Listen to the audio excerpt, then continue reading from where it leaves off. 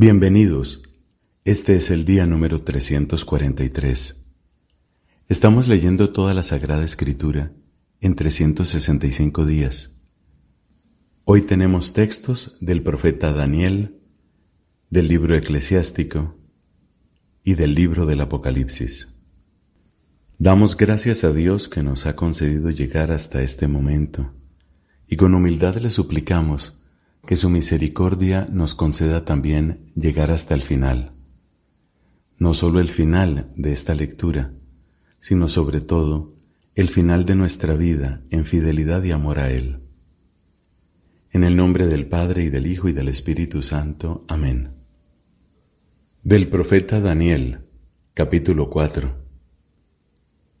Yo, Nabucodonosor, estaba tranquilo en mi casa y lleno de prosperidad en mi palacio, cuando tuve un sueño que me horrorizó, las obsesiones que me asaltaron en mi lecho y las visiones de mi imaginación me llenaron de espanto.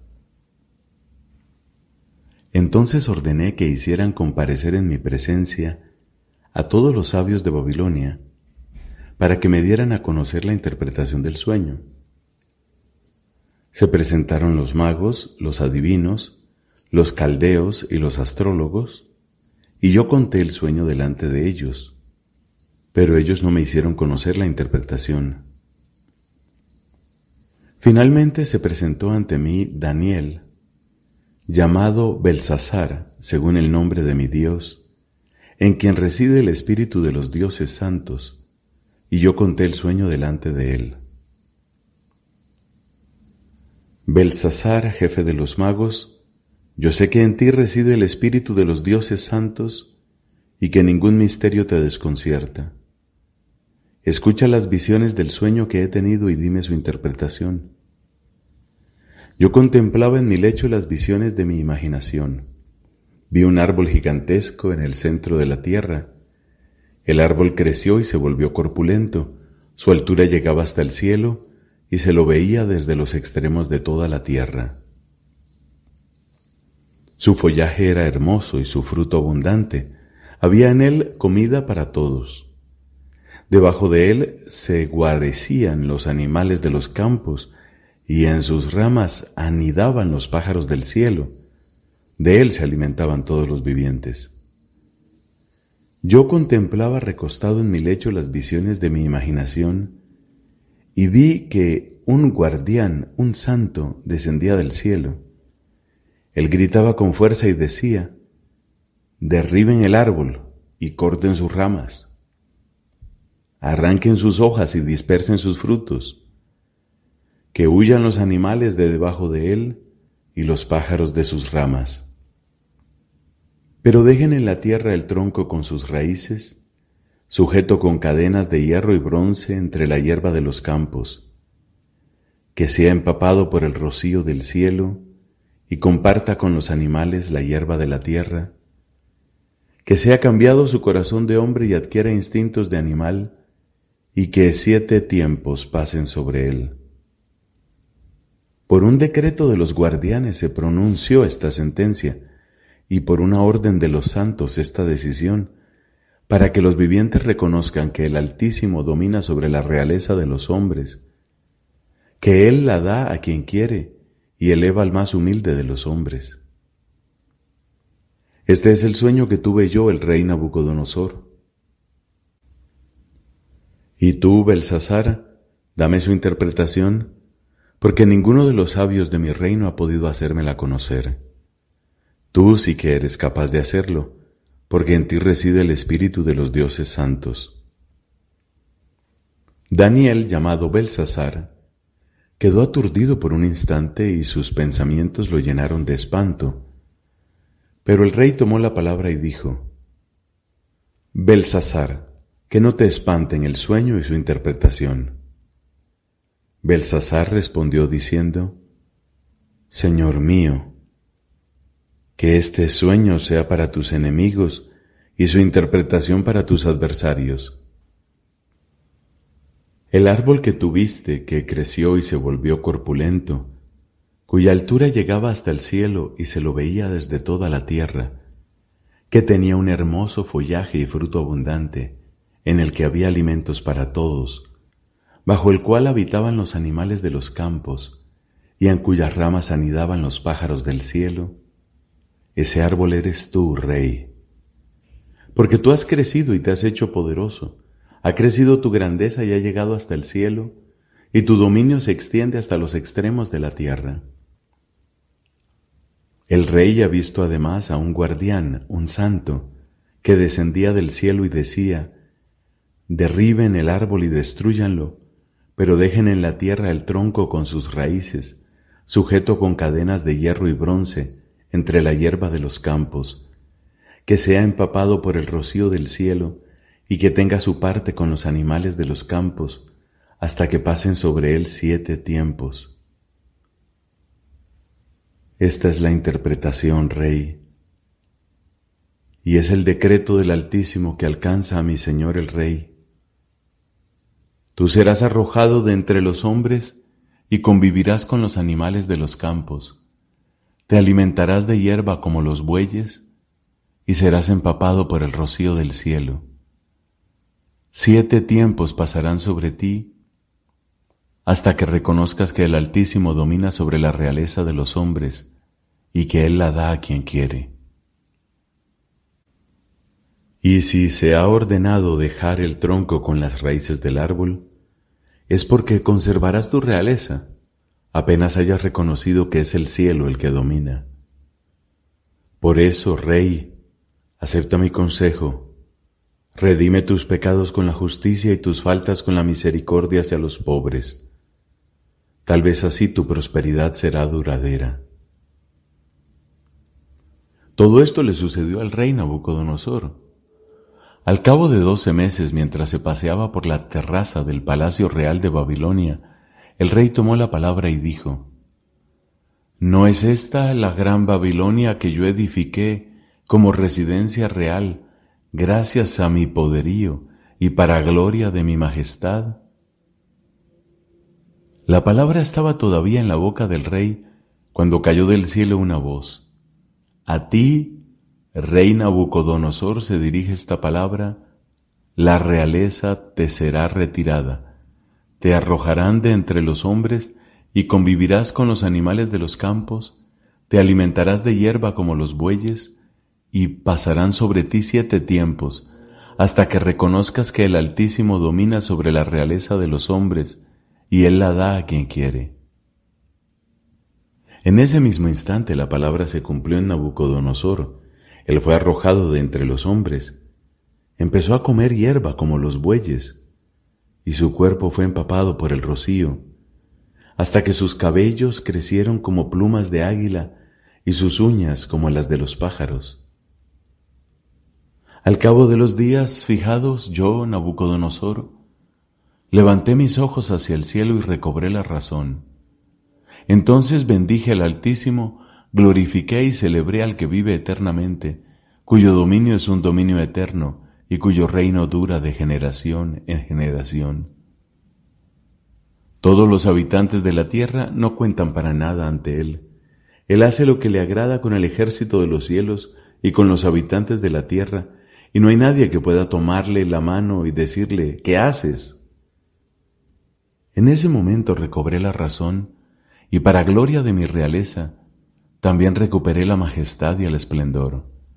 Mis familiares y mis dignatarios acudieron a mí, yo fui restablecido en mi reino y mi grandeza se acrecentó extraordinariamente. Ahora yo, Nabucodonosor, glorifico, exalto y celebro al Rey del cielo, porque todas sus obras son verdad y sus caminos son justicia y Él tiene poder para humillar a los que caminan con arrogancia. El rey Baltasar ofreció un gran banquete a mil de sus dignatarios y bebió vino en la presencia de esos mil. Estimulado por el vino, Baltasar mandó traer los vasos de oro y plata que Nabucodonosor su padre había sacado del templo de Jerusalén para que bebieran en ellos el rey y sus dignatarios, sus mujeres y sus concubinas.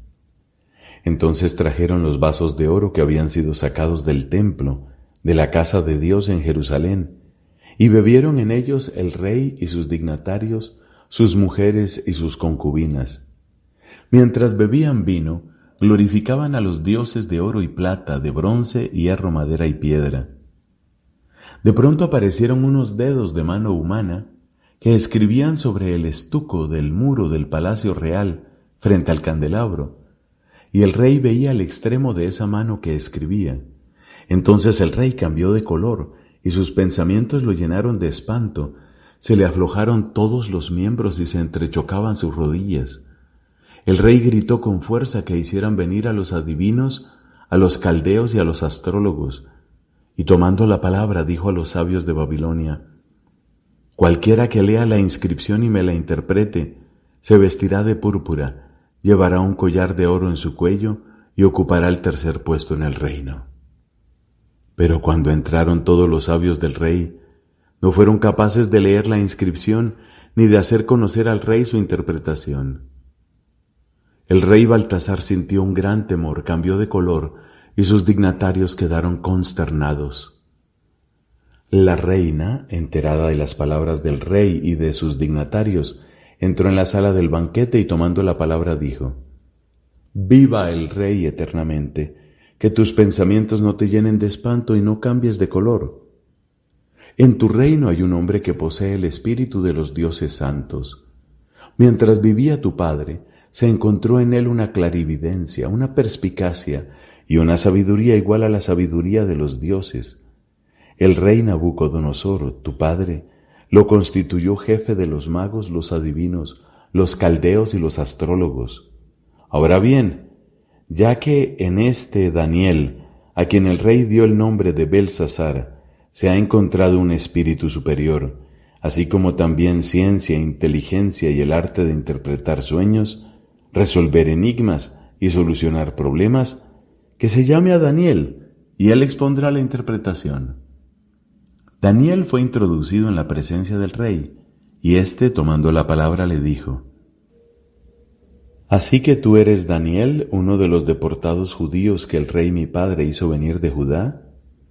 Yo he oído decir que en ti reside el espíritu de los dioses, y que se han hallado en ti clarividencia, perspicacia y una sabiduría superior. Acaban de ser traídos a mi presencia los sabios y los adivinos, para que lean esta inscripción y me la interpreten, pero ellos no han sido capaces de interpretar la cosa. Yo he oído de ti que puedes dar interpretaciones y resolver problemas. Si tú ahora puedes leer la inscripción y me haces conocer su interpretación, te vestirás de púrpura, llevarás un collar de oro en tu cuello y ocuparás el tercer puesto en el reino. Daniel tomó la palabra y dijo en presencia del rey, Puedes guardar para ti tus dones y dar a otros tus regalos de todas maneras yo leeré al rey la inscripción y le haré conocer su interpretación. Escucha, rey, el Dios Altísimo dio a tu padre Nabucodonosor la realeza y también magnificencia, gloria y majestad. Y a causa de la magnificencia que le concedió, todos los pueblos, naciones y lenguas temblaban de temor delante de él. Él mataba y hacía vivir a quien quería, exaltaba y humillaba a quien quería. Pero cuando se ensoberbeció su corazón y su espíritu se obstinó hasta la arrogancia, fue depuesto de su trono real y le fue retirada la gloria. Él fue expulsado de entre los hombres y adquirió instintos de bestia, convivió con los asnos salvajes, se alimentó de hierba como los bueyes y su cuerpo fue empapado por el rocío, hasta que supo que el Dios Altísimo domina sobre la realeza de los hombres y entroniza a quien Él quiere. Pero tú, su hijo Baltasar, no has querido humillarte aunque sabías todo esto. Te has exaltado contra el Señor del cielo. Han traído a tu presencia los vasos de su casa y han bebido vino en ellos, tú y tus dignatarios, tus mujeres y tus concubinas. Has glorificado a los dioses de plata y oro, de bronce, hierro, madera y piedra, que no ven, ni oyen, ni entienden, pero no has celebrado al Dios que tiene en su mano tu aliento y a quien pertenecen todos tus caminos. Por eso ha sido enviada esta mano de parte de Él y ha sido trazada esta inscripción. Esta es la inscripción que ha sido trazada. Mené, Tekel, Parsin. Y esta es la interpretación de las palabras. Mené. Dios ha contado los días de tu reinado y les ha puesto fin. Tekel. Tú has sido pesado en la balanza y hallado falto de peso. Parsin. Tu reino ha sido dividido y entregado a los medos y a los persas. Entonces Baltasar mandó revestir de púrpura a Daniel e hizo poner en su cuello el collar de oro y proclamar que ocuparía el tercer puesto en el reino. Esa misma noche mataron a Baltasar, rey de los caldeos. Palabra de Dios. Te alabamos, Señor. Del libro eclesiástico, capítulo 39, versículos del 1 al 11. No pasa lo mismo con el que consagra su vida a reflexionar sobre la ley del Altísimo. Él busca la sabiduría de todos los antiguos y dedica su tiempo a estudiar las profecías. Conserva los dichos de los hombres famosos y penetra en las sutilezas de las parábolas. Indaga el sentido oculto de los proverbios y estudia sin cesar las sentencias enigmáticas. Presta servicio entre los grandes y se lo ve en la presencia de los jefes. Viaja por países extranjeros porque conoce por experiencia lo bueno y lo malo de los hombres. De todo corazón, muy de madrugada se dirige al Señor su Creador y suplica en la presencia del Altísimo, abre sus labios para orar y pide perdón por sus pecados. Si el gran Señor así lo desea, será colmado del espíritu de inteligencia, derramará como lluvia sus sabias palabras y celebrará al Señor con su plegaria. Dirigirá rectamente su consejo y su ciencia y reflexionará sobre los secretos de Dios. Con su enseñanza hará brillar la doctrina y se gloriará en la ley de alianza del Señor. Muchos alabarán su inteligencia, que nunca caerá en el olvido. Su recuerdo no se borrará jamás y su nombre vivirá para siempre. Las naciones hablarán de su sabiduría y la asamblea proclamará su alabanza. Si vive largo tiempo, tendrá más renombre que otros mil. Si entra en el reposo, eso le bastará. Palabra de Dios. Te alabamos, Señor. Del libro del Apocalipsis, capítulo 11. Después recibí una vara para medir semejante a un bastón, mientras me decían, Levántate y mide el templo de Dios, el altar y a los adoradores que encuentres allí. No tengas en cuenta el atrio exterior del templo ni lo midas, porque ha sido entregado a los paganos, y ellos pisotearán la ciudad santa durante cuarenta y dos meses. Pero yo encargaré a mis dos testigos que profeticen durante mil doscientos sesenta días, vestidos con hábitos de penitencia. Estos dos testigos son los dos olivos y los dos candelabros que están delante del Señor de la tierra. Si alguien quiere hacerles daño, saldrá un fuego de su boca que consumirá a sus enemigos. Así perecerá el que se atreva a dañarlos. Ellos tienen el poder de cerrar el cielo para impedir que llueva durante los días de su misión profética, y también tienen poder para cambiar las aguas en sangre y para herir la tierra con toda clase de plagas todas las veces que quieran. Y cuando hayan acabado de dar testimonio, la bestia que surge del abismo les hará la guerra, los vencerá y los matará. Sus cadáveres yacerán en la plaza de la gran ciudad, llamada simbólicamente Sodoma y también Egipto, allí mismo donde el Señor fue crucificado. Estarán expuestos durante tres días y medio a la vista de gente de todos los pueblos, familias, lenguas y naciones, y no se permitirá enterrarlos. Los habitantes de la tierra se alegrarán y harán fiesta, y se intercambiarán regalos, porque estos dos profetas los habían atormentado. Pero después de estos tres días y medio, un soplo de vida de Dios entró en ellos y los hizo poner de pie, y un gran temor se apoderó de los espectadores. Entonces escucharon una voz potente que les decía desde el cielo, Suban aquí. Y ellos subieron al cielo en la nube, a la vista de sus enemigos. En ese momento se produjo un violento temblor de tierra que derrumbó la décima parte de la ciudad, y el terremoto ocasionó la muerte de siete mil personas. Los sobrevivientes quedaron atemorizados y alabaron al Dios del cielo. La segunda calamidad ha pasado, pero sepan que la tercera está por llegar. Cuando el séptimo ángel tocó la trompeta, resonaron en el cielo unas voces potentes que decían, El dominio del mundo ha pasado a manos de nuestro Señor y de su Mesías, y Él reinará por los siglos de los siglos.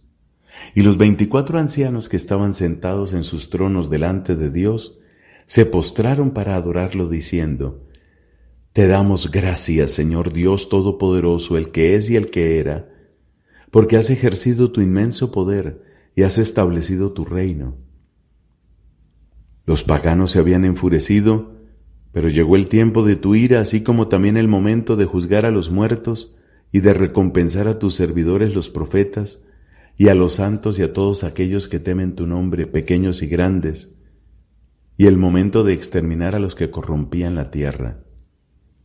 En ese momento se abrió el templo de Dios que está en el cielo, y quedó a la vista el arca de la alianza, y hubo rayos, voces, truenos y un temblor de tierra, y cayó una fuerte granizada. Palabra de Dios, te alabamos Señor.